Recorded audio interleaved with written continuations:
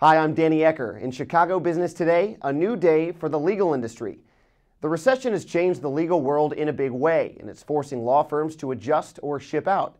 Chicago's law firms shrank last year by nearly 10%, or more than 600 jobs, according to a Crain's survey.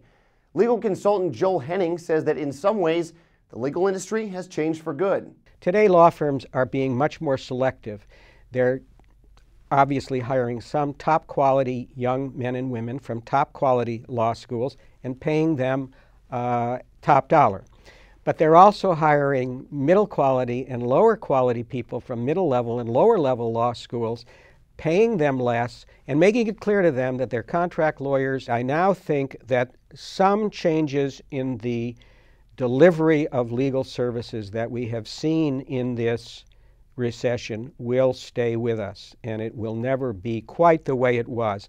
And one of those changes is foregoing the standard billable hour, a trend that's picking up among businesses looking to run leaner. People like Jim Sheehan are leading the charge. Sheehan is the general counsel for the Naperville based telecommunications company Tellabs. His primary task is finding ways to trim fat from the company's legal costs by doing some tasks in house.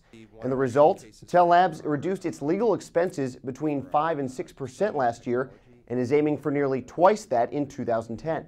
With outside resources, it's much more challenging to control the costs.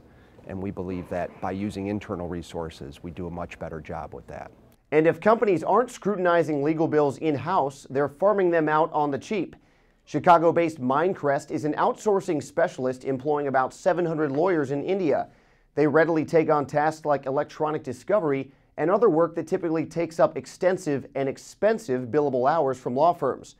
With a recession, Mindcrest business has nearly doubled, and CEO Ganesh Natarajan says they're a logical cog in the system. Ultimately, what we provide is services with very high quality, but at a much, much lower cost.